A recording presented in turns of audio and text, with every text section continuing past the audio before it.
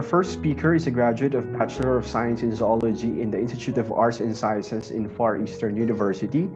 Also finished his Doctor of Medicine in Far Eastern University Nicanor Reyes Medical Foundation. Also uh, finished his Master in Hospital Administration in the College of Public Health, University of the Philippines, Manila. He finished his postgraduate training in the National Institute of Health Advanced Biosafety Officers Training Course at the U.S. Department of State and UP Manila. He received various awards, and to name a few, he is a recipient of the 2016 Biosafety Hero awarded by the International Federation of Biosafety Association based in Ottawa, Ontario, Canada professional certification in biorisk management granted by the International Federation of Biosafety Association in Kuala Lumpur, Malaysia in April 2017. Six Sigma Yellow Belt certification granted by the St. Luke's Medical Center on October 19, 2017, Bonifacio Global City Taguig, Manila professional certification in biosecurity granted by the International Federation of Biosafety Association in Kuala Lumpur, Kuala Lumpur, Malaysia in November 2017. He is a member of the Department of Health, Health Facility Development Bureau Committee on Laboratory Services, Safety, Research, and Ethics in January 2018 the founding president of Biorisk Association of the Philippines in 2015, biosafety officer at St. Luke's Medical Center, Philippines. Ladies and gentlemen, to talk about transitioning the laboratory biorisk management framework through ISO 35001, please help me welcome our first plenary lecturer, Dr. Miguel Martin Noble Moreno II. Thank you. A pleasant good evening, Pamet, Southern Luzon. I hope you're all safe and comfortable in the confines of your home with your family. First, I would like to thank uh, Pamet National, uh, headed by your president, Mr. Ronnie Puno, for having biosafety, bio risk management, and biosecurity in the agenda most of the time. Secondly, to Professor Oliver Dumawal for inviting me to this regional conference. To host chapter, Sir Juven Peña Florida. I would like also to say thank you to Dr. Roberto Padua for his very uh, comprehensive lecture. Uh, also to the national officers of PAMET, uh, the chapter presidents, and of course to you PAMET members for embracing the science of biosafety, biosecurity, and biorisk management that is why you all are the last of the frontliners to, to be affected by the virus because you were aware, you are prepared. In my, it is my pleasure to address you again on your annual regional conference. I remember the last time was in Diet. in our, and this is now our new setup being virtual. I hope the message my lecture sends you will be concrete and remembered when you switch off your gadgets after the virtual conference. I take pride in presenting to you a more detailed lecture of my initial introduction to the ISO 35001 version 2019, uh, which I gave at the North Luzon Regional Conference sometime summer last year. My very first encounter with the standard was in February 2019 when the VRAP vice president and myself, plus the two members, uh, three members, two of which are veterinarians, we attended the U.S. Department of Agriculture International Biosafety and Biocontainment Symposium in Baltimore, Maryland, where they introduced the newest standard of the ISO. It was a four-day symposium, mainly focused on biosecurity of valuable biologic materials, especially the zoonotics. There was a lecture there on introduction to the new ISO standard for biorisk management for laboratories and other related organizations. Of course, following the vision and mission of BRAP, I wanted to bring this home to the Philippines and have BRAP and PAMET again in the front in the front line of biorisk management. I immediately looked for that session in Baltimore and I attended, attended it listening attentively. The initial discussions were on biorisk management and you all know about that because biorisk management is the back, is the backbone of this new standard. So let's review a little about biorisk management. As we all know, biorisk covers both biosafety and biosecurity, where the identified hazards are the biological agents and their products. In biorisk management, we establish and implement systems and policies in order to manage this laboratory biorisk. And biorisk management should be integral in the day-to-day -day operations of the laboratory, both in normal time and in times of emergencies, such as the pandemic. So what were we following before the ISO? This is the history of the CEN issuances. CEN is European Committee for Standardization. Uh, it is CEN because the original name is in French. And an output of the uh, CEN is called a working agreement. So we call it a CWA, meaning CEN Working Agreement. It is by definition not an official standard from the member organizations. Take note that CWA does not have the status of a European standard, and it involves no obligation at the national level. To give you a detailed overview, let me briefly discuss CWA issuances concerned with the biomedical laboratory and biorisk management. So let's go to the first, which is CWA 15793.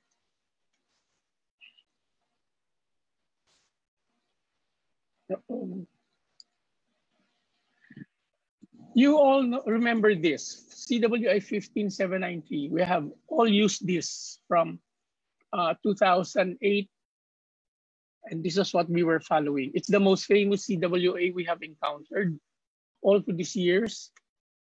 Remember that, CWA 15793. It, it is a laboratory biorisk management standard, which was written in 2007 and then adopted in 2008. The development of CWA 15793 involved 76 participants from 24 European countries. They convened and wrote and finalized the draft, and its distribution was funded by the European Commission. It lasted for three years, yun yung kanyang lifespan, after being released in 2008 and was superseded by the 2011 version whose distribution was made avail available by uh, Health Canada. We used this until 2019 when the ISO finally made its grand entrance as being the new standard for biorisk management. Leaving the 15793, we go into the 16393 of 2012. What's important in this document? It it presents guidelines for the implementation of the CWA 15793 version 2008 and eventually 2011.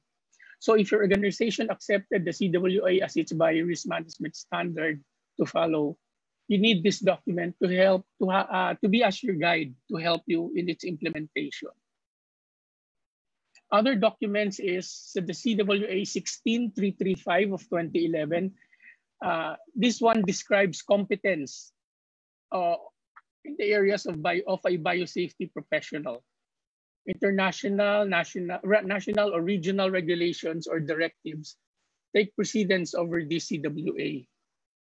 The, this, uh, the 16335 provides in informative annexes and model role profile and model, model tasks of a biosafety professional in an organization.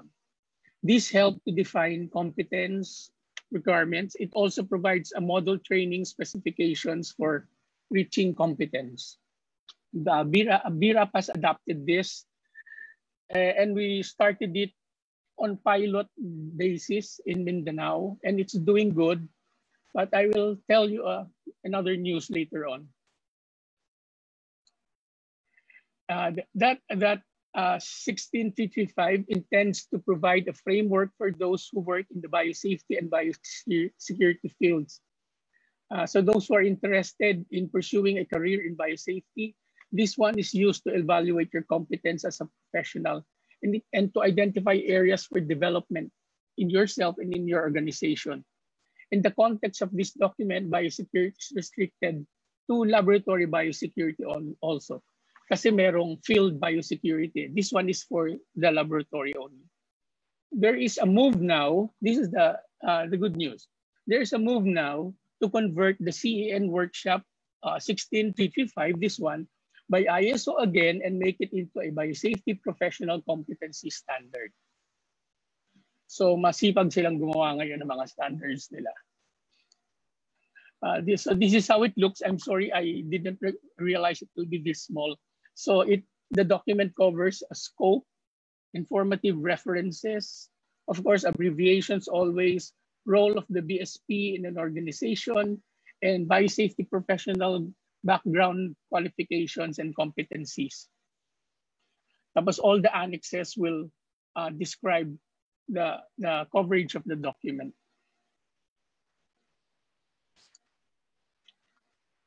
So we are using now the CWA 15793, the 2011 version, because the 2008 version expired after three years. It, because it has a limited uh, lifespan of up to six years. We use this standard just to keep our laboratory safe and secure until the public showed that there was still a need for a new laboratory biorisk management. So if you count uh, 2011 plus six years, the total lifespan of the CWA, it expires in 2017. Several major biosafety organizations and countries from all regions have confirmed the need to convert the CWA 15793 into a suitable guidance document. So as early as 2014, the ISO took on the task to standardize biorisk management. And on 2017, in its last year of existence, they started drafting the new standard. So the new standard is what we call now your ISO 35001 series of 2019.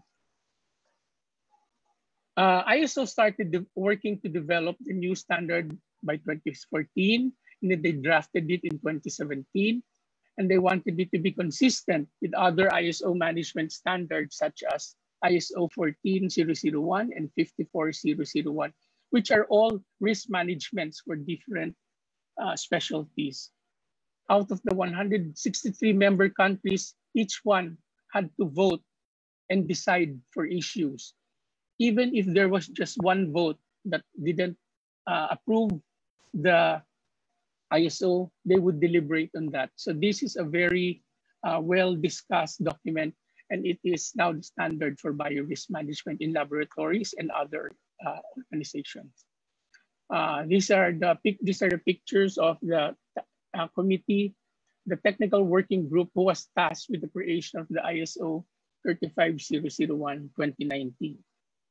Uh, this came out November 2019.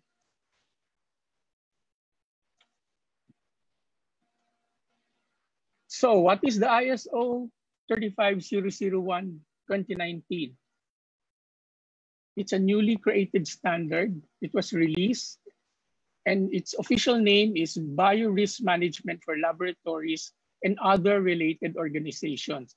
So it's not confined just to the laboratory per se, but also to organizations who, like BIRAP and PAMET, uh, push for the bio for the biorisk management of laboratories. So what is this standard all about? We have uh, four uh, specific reasons why the ISO was created. It responds to a need in the market. As we said earlier, ISO does not decide when to develop a standard. They simply respond to the industry's call or need for a, stand, for a standard. So the country, the laboratory uh, talks to the ISO in the country, the ISO leader in the country, and then the ISO uh, stakeholder in the country communicates with the ISO in head, uh, general headquarters in uh, Europe. Second, ISO standards are based on global expert opinion. So it's not just written by a few people in, in Europe. if you remember, I said there were 160 participants from the 64 countries all over the world. So that's the coverage. coverage. The experts creating the standard negotiate and all aspects which include scope, uh, key definitions and content are discussed. The third is the standards are developed through a multi-stakeholder process, which means the technical committees are made up of experts from the concerned industry, which is biosafety, by security, and biorisk management. And they form consumer associations. Uh, and from consumer associations, the academe, NGOs, and government. And the fourth is uh, uh, these standards are deliberated are deliberated upon and checked on a consensus-based approach, taking into consideration all of the stakeholders' comments. As I said, just one uh, stakeholder who does not conform to the standard, they will deliberate on that until it is finally decided upon. So what is the ISO 35001? It's actually a biorisk management system itself. Uh, what's beautiful is now we have a real standard that all we need to do is just follow it. So always remember that whenever we say biorisk, we refer we always refer to both biosafety and biosecurity. The biorisk management system presented here is based on a management system approach, which enables an organization to effectively identify, assess, control, and evaluate the biosafety and biosecurity risks inherent in, in its activities inside the laboratory. As such, this document is intended to provide require, to define requirements for a biorisk management system that is appropriate to the nature and scale of any organization. The biorisk management system is built on the concept of continual improvement through a cycle of planning, implementing, reviewing, and improving the process and actions that an organization undertakes to meet its goals. You have heard this, I'm sure. This is known as the PDCA principle, the plan, do, check, and act principle. If we look at the uh, ISO 35001 quality management system approach, imagine you are looking at a pyramid and you are on top, uh, a drone, a drone view. This is the top, top to down pyramid view of a biorisk management system model lifted from the first few pages of ISO 35001. You will need to exercise uh, a little constructive imagination here and see this figure from the top like viewing, as, as I said, the top of a pyramid you know, when I was creating this uh, this lecture, I was I am I was really very careful because the ISO 35001 is a copyrighted material. And when you talk about copyright in Europe, it is very strict. They send you only one copy through uh, electronic and that, that electronic file is tagged.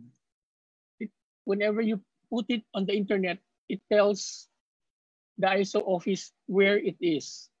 If that file becomes two, they also know where it is and who started spreading or having having the file copied. They are very strict, honestly, I tell you.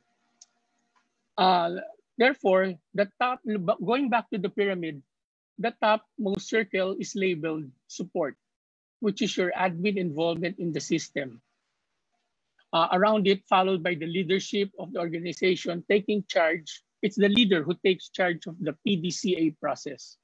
Next layers going down uh, is 4.3 and 4.4 labeled scope of the biorisk management system. So you have there telling us who is uh, in charge and then what is the scope, what is the coverage and then followed by its foundation labeled 4.2, understanding the needs and expectations of the interested parties, together with 4.1, understanding the organization and its con content, context. Uh, I hope you are still with me in this uh, pyramid thing. Now, uh, this top of the pyramid view of the uh, of the sorry of a biorisk management so, so ayaw gumalaw.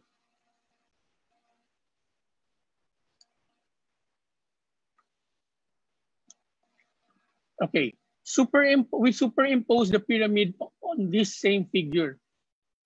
This is the top-down pyramid view of the bio, uh, of the biorisk management system model lifted from the first few pages of the ISO 35001, as I said earlier. You need, uh, I hope your imagination is as vivid as mine. You see uh, the arrow, leadership surrounded by the PDCA, and then you have the exter internal, external issues, intended outcomes of the management system, and the needs and expectation of the interested party, which comprises all your, the context of your organization. So when you, when you start implementing the ISO 35001 in your organization, you will have to do this initially. So what is the PDA, PDCA cycle? I'm sure many of you know this already. It's based upon a quality management system framework.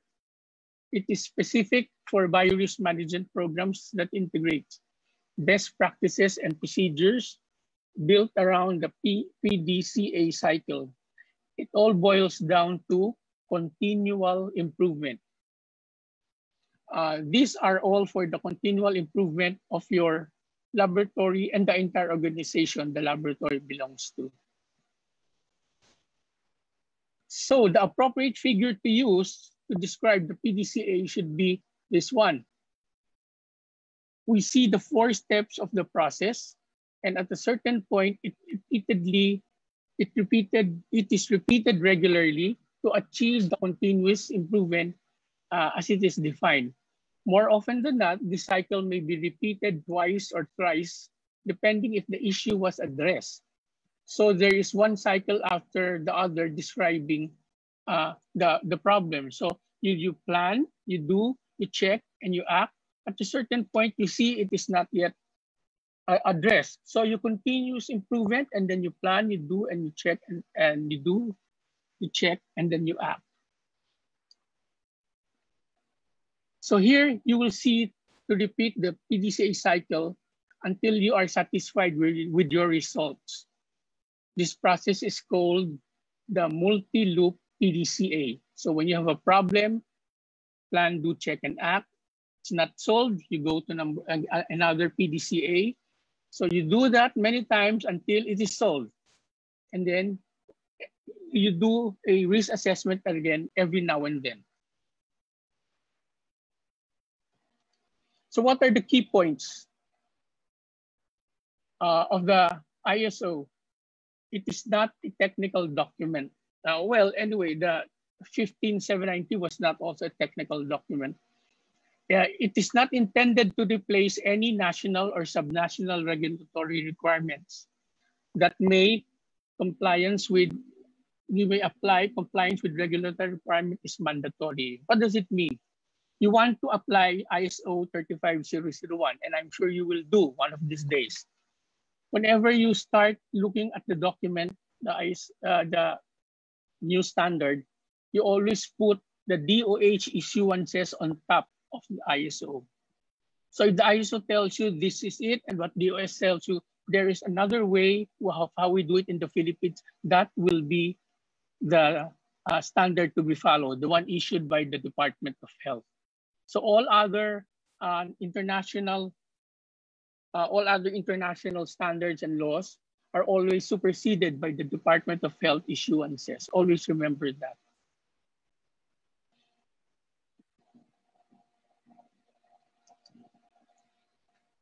Uh, where can you use ISO?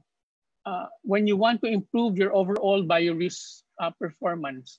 It was mentioned by the keynote speaker that it, now in our in the new era, you have to do a biorisk management always prior to doing anything in your laboratory. When you need a framework uh, or structure for effective biosafety, biosecurity program manage, you use the ISO. 35001. When you want to communicate the awareness defined in your organization, you follow the communication process as defined in the ISO 35001. When you need to improve international collaboration, you also use this one, especially this the ISO, because in the international arena, this is already the gold standard.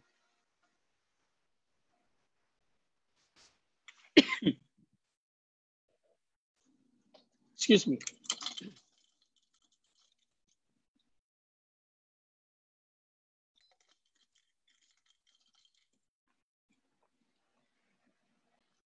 So let's peek into the contents of the ISO. This is the this is the part of the lecture which I really had to ask permission. I had to make sure I was not uh, falling into the trap of wanting to disseminate it. Uh, so the ISO 35001 has 10 sections and it's only 26 pages. Yung CWA 15793, 49 pages yun. So the 10 sections are here the scope, the normative references, terms and uh, terms and definitions. Of course, palaging kasama yan. Uh, context of the organization, which I briefly discussed earlier, during the, the, the pyramid. And then it talks about leadership, planning, support, operation, performance evaluation, and then improvement. So let's go into the uh, sections one by one. Mabilis lang mo ito. Scope number one. Number one is scope. ISO defines an approach to identify, assess, control, and monitor the risks associated with biological materials. It is applicable to any laboratory or other organization that works with stores, transports, and disposes and disposes of biological materials. ISO 35001 is not intended for laboratories, remember, which test for presence of microorganisms or toxins in food or feed stuff. It is not intended for management of this form use of genetically modified crops in agriculture. Why? Because there is an ISO specific for uh, these ones. So this one is particularly for uh, the laboratory handling biological materials. So number two, normative references. How lucky are we that there are no normative references for this standard? What are norm norm normative references? Uh, they close lists for information their the documents which are cited in the text in such a way that some of or all of their content constitute requirement for the document. So let's go to the third terms and definitions.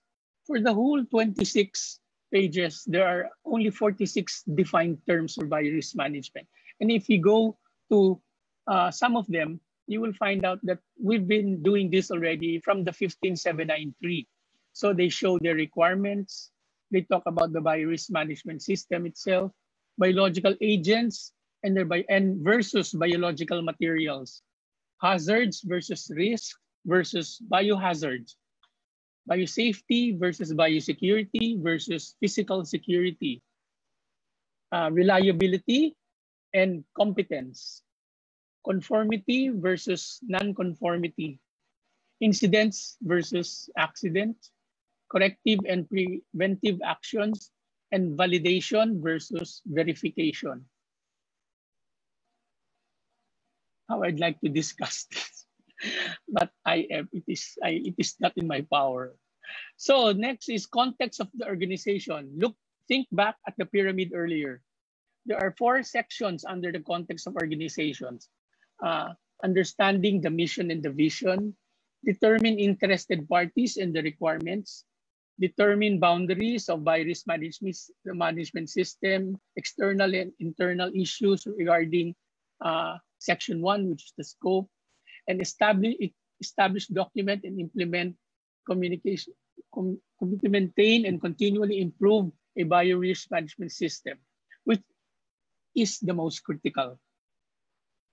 Always the biorisk management system. Number five is leadership. So what does it say about leadership? It has three sections. First is first section is leadership and commitment.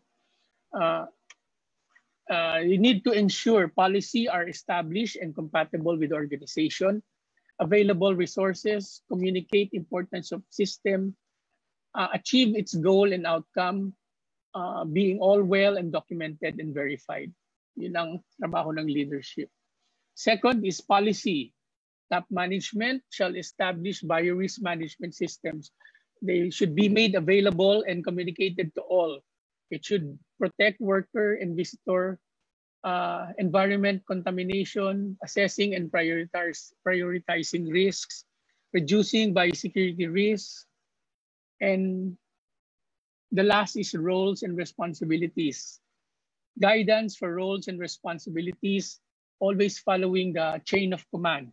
So it is always from number one to number five, never from number five to number one, and never uh, in between. So you have top management, who is supported by senior management. After the senior man management, you have your biorisk management committee. Committee muna before you go to your biorisk management advisor or your biosafety officer or your biosafety professional. And then you go down now to your diagnostic and scientific management. Number six in the standard is planning. There are uh, two sections under planning. One is action, address risk and opportunity. So you identify the, uh, the threat, you do an analysis, and then you do a risk assessment, and then you mitigate on the assessment, and then you check if your mitigation is doing good by doing a performance evaluation. So if not, you go back to number one again, simply the PDCA cycle. Always remember biorisk management objectives and planning to achieve them, or in order to achieve them. The seventh section is your support. It has eight sections. Well, first is resources. When you talk about resources, you should have a worker health program. You should have issues on vaccination of your workers. Second section is competence. Make sure that the people, behavioral factors and worker management are always following the, uh, the competence. As at this point in time, we are still using the uh, CWA uh, standard for competence because uh, ISO has not yet come up with the new standard, ISO standard for competence, and re personnel reliability measures.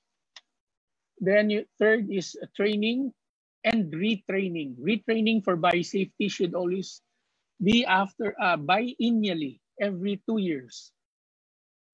And then the fourth is communication. Then you have document information. When you talk about documented information, you have general information, creating and updating your information, control of documents information, and of course, information security. This is more of biosecurity already. And then non-employees. How do you deal with non-employees in your laboratory? Then personal security. And then control of suppliers. Very important. I have seen laboratories big laboratories of tertiary hospitals where all of a sudden you see somebody inside the lab who is wearing street clothes and ask eh, and asking around, asking around. And when I asked around who was that man, he was he was a supplier. so you need to control that in the ISO standard. Then we talk about operations. This is one of the longest sections. It, it has eight sections. Operational planning and control you have to have their policy, which tells you how you are doing it and how are you controlling the risk. Commissioning and decommissioning. It's enough that it's not enough that you hand over a new laboratory to your customer. It should be properly commissioned. And when you are when you have a laboratory that is already old, dilapidated, and you want to close it down, you have to do a proper decommissioning of that laboratory. Number three, you have maintenance, control, calibration, very, uh, certification, and validation of your equipment. The worst thing you can do is buy a machine and have the seller do the certification. you should always have at least a third part, a second party or a third party for certification and validation. And then you talk about physical security in operations. You talk about biological materials and inventory. You talk about good microbiological practices, pinaka-basic. GMT, you all learn in school. Then you, you have you talk about clothing and personnel protective equipment, PPEs and your uniforms. What is the issue now in this? ISO deals with it that you cannot, you should not bring out of the laboratory whatever you're wearing inside. Worse is you don't bring it home for washing. So we talk about decontamination and waste management. And then preparedness, response, and contingency planning. You, talk, you have uh, emergency scenarios, emergency plan training, emergency exercises and simulators. These are what you call your drills. And then you have contingency plans. What is plan A, plan B, plan C, depending on the emergency. And the last one is your transport of biological materials, which is always included in every standard that talks about uh, the laboratory. Nine, performance evaluation. Okay, you did a PDCA, you have mitigated, you are now, you should now do performance and evaluation. What, do, what does it mean? After monitoring, measuring, you analyze and you evaluate. Is it working? Is it good? Or do you have to do another PDCA? You have your internal audit. Better yet, you have an external audit or third party helping you out on this. And then your results are submitted to management review, of course, with your recommendation for proper addressing by the management because they have control of your resources. And the last section is improvement because we talk about PDCA, you, you, you always have to go into continuous improvement. These sections include the general, uh, incident, nonconformity, and corrective action. And then how will you continually improve this on a regular basis. So those are the, uh, the 10 chapters of the, P, uh, of the ISO 35001 and their corresponding sections. I'm sorry, but uh, that's, all, that's what I can only present to you. So how will you learn about this? You attend more and more uh, trainings on ISO not one training will give you the entire ISO in itself. So if you attend many, especially the risk assessment part using the ISO, uh, you will be able to complete the, man, the uh, standard in itself. You're supposed to buy the standard and it's 118 uh, Swiss francs. I think it's around, it's almost uh, $100 or 5,000 pesos just for the 26 pages. Uh, I lifted this from the ISO website, the official name of the standard. It's abstract and the price of uh, is for is for a single use, non-copy, non-print electronic copy of the standard. Napakahigpit nila talaga.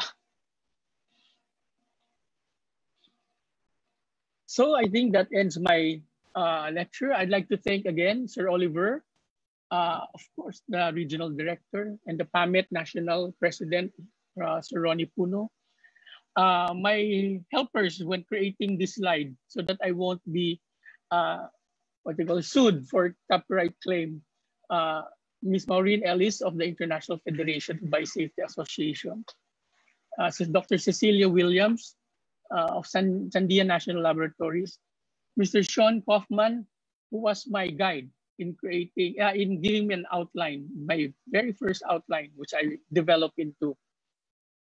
And of course, the Pakistan Biological Safety Association for their, for their guide also in presenting this, uh, this standard because they already have presented this. And if they were not sued, I will not be sued also. So with that, good luck. I hope we, we go into the ISO uh, and with that, I'd like to thank you all for your attention. And if you have any questions, uh, I, I, don't know if we will be they will be addressed here, but you can always email me with a BRAP email. Thank you very much.